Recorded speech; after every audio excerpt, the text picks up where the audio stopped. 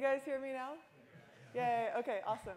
All right, so um, talking about an algorithm to extend common dimensionality reduction techniques to the case of neural sequences.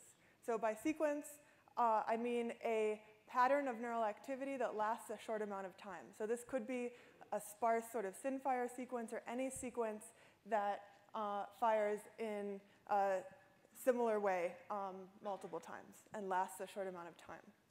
So sequences are a very common feature of neural uh, circuits, and they're also very important for neural function. So in the next 10 minutes, I'm going to tell you how our algorithm, which we call SeqNMF, works, and I'm going to give you a sense of whether it might be applicable to your data sets. And then I'm going to leave you with some uh, tools to try it um, that Andrew and I have posted on the FeeLab uh, GitHub account, and we also have a bioRxiv preprint, so it should be very easy to try these uh, techniques if you'd like. Um, so I also study birdsong. Um, this is a young bird. I study uh, early stages of learning. And um, I specifically study HVC, uh, which is uh, which forms sequences when the bird sings, and these sequences uh, generate song. So I'm interested in uh, what's happening in HVC very early on in the learning uh, process. And I'm using functional calcium imaging to record in HVC. So I wanted to look directly at the neural activity and extract structure from that without relying on looking at the noisy song behavior, which was changing a lot during learning. So here's an example of what uh, my data looks like. This is calcium imaging from about 100 neurons in HVC as a young bird is singing.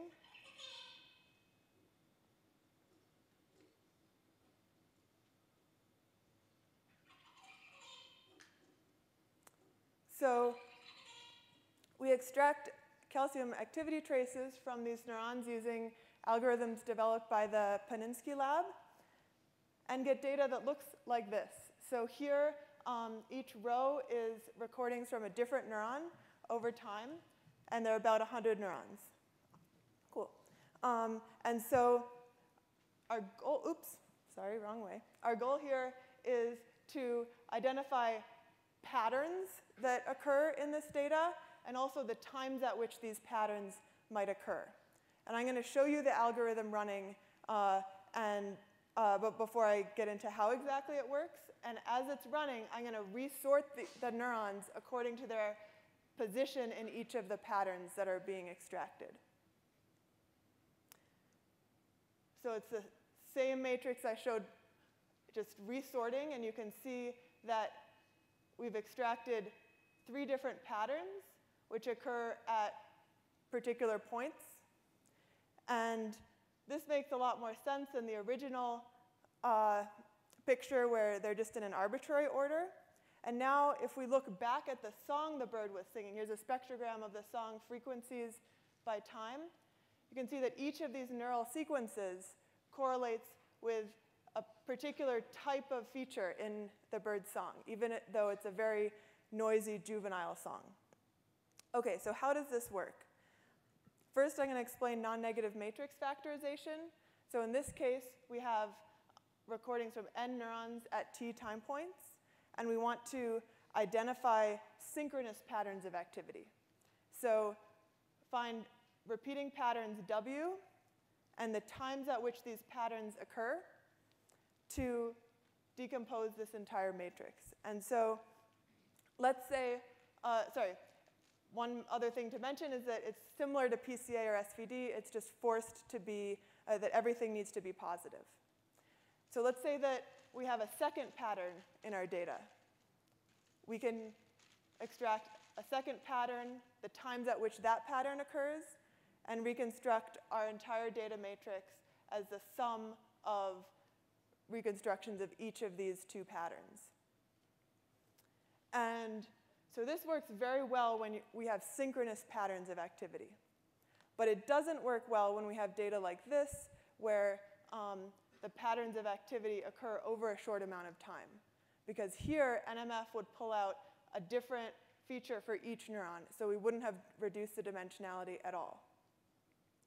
So um, luckily, we can just generalize it to cases where uh, the pattern lasts a short amount of time. It's a similar picture. Now, this pattern is convolved with this temporal uh, activity to produce the data matrix. And this um, was developed by Paris Smaragdis and is called convolutional NMF. So here, we can also generalize to multiple temporal patterns and factorize the data in this way. So this algorithm, algorithm is really great and very almost um, exactly what I wanted for my data. Um, it's fairly easy to fit, fit by minimizing this cost function. You can find the patterns and time courses um, that best fit your data, minimizing reconstruction error. But it has a problem because in practice it gives you redundant factors. Um, so here's an example of a redundant factorization. The data has just one sequence, but we've extracted two different patterns corresponding to the first part and the second part of this sequence. And so what we noticed is that in this case, there's a high degree of correlation between these redundant factors. So we wanted to add a term to the cost function which punishes correlations between factors. And the first thing that we thought of to do was um, punishing the correlation matrix HH transpose. And this has been done in standard NMF and works pretty well. But in this case, it doesn't work, because if you notice, these two time courses are correlated but at a slight temporal offset. So this term is completely insensitive to this type of correlation. So we thought maybe we could add a smoothing term to the H's before we took the correlation matrix. So then we could be sensitive to correlations at a slight temporal offset. This almost worked, but not quite, because what would happen is that we'd get two different factors where the patterns looked very similar. They would just explain different instances of the same sequence in the data. So that doesn't quite work, but we added um, uh, an extra term, which is the overlap of each pattern with the data. So now instead of HH transpose, it's the overlap times H transpose.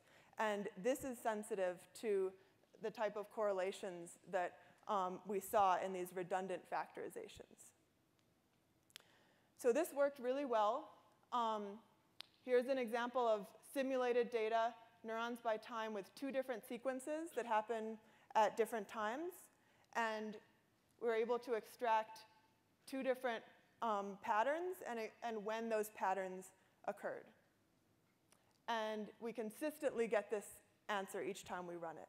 So if we run our algorithm without the regularizer, so we've run traditional convolutional NMF, then um, we get highly inconsistent factorizations. We get a different redundancy each time we run it. It's hard to interpret. If we regularize, then almost all the time we get exactly the same answer, which we know is the right answer because we simulated this data. Um, we're also able to test the significance of each factor that we extracted on held out data. Um, and so let's say we, we, extracted this factor in a different data set and wanted to see whether that factor is present in held out data. We pass the pattern over the data and see if there are moments of exceptionally high overlap.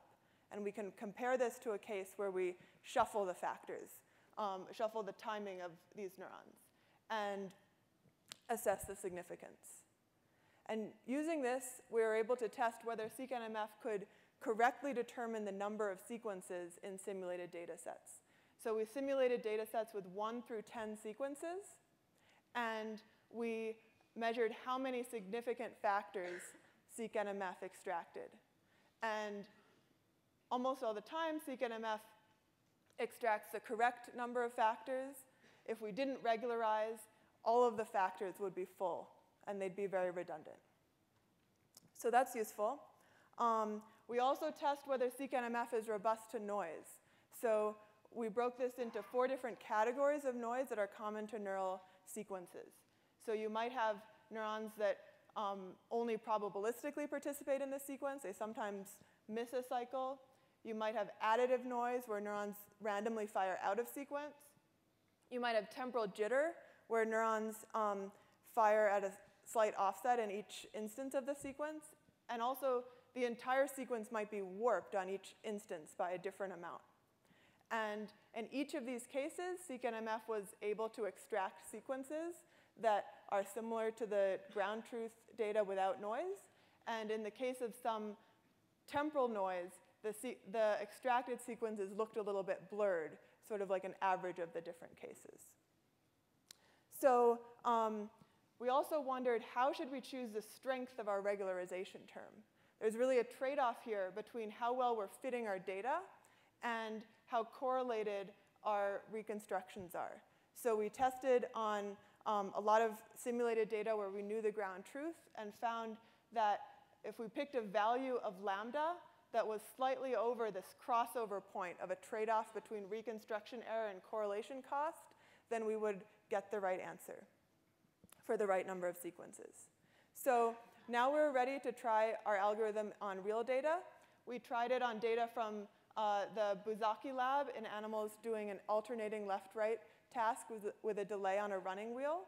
And without any reference to the behavior, we extracted three sequences corresponding to three parts of the task. So here I'm showing the extracted sequences, and I'm sorting the neurons according to their latencies within each sequence.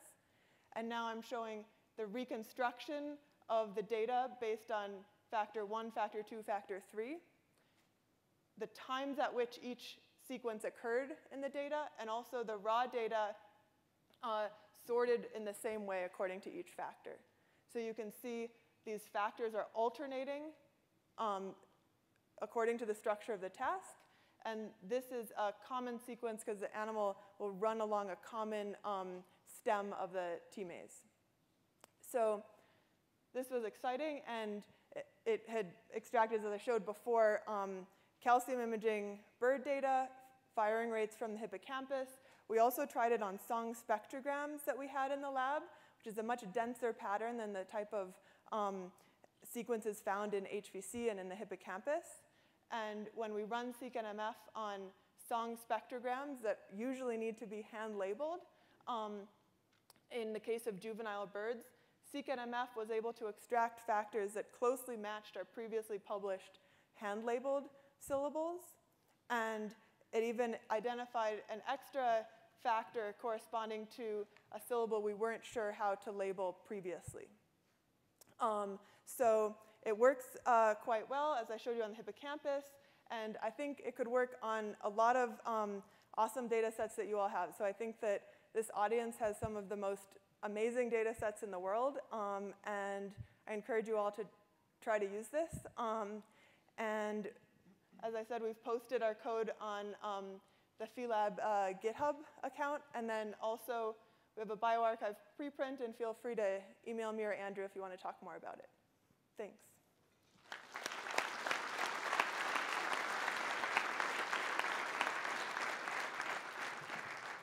Thank you very much. So we have time for just one question.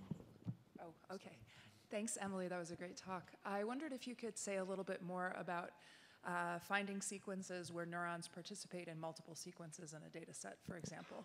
That's a really good question. So the question is about finding neurons where neurons are shared between different sequences. We've tested this, um, and it works well. There are some subtleties, but they're in the preprint. So Great. yeah, it does work well in that case. Good question. Thanks very much.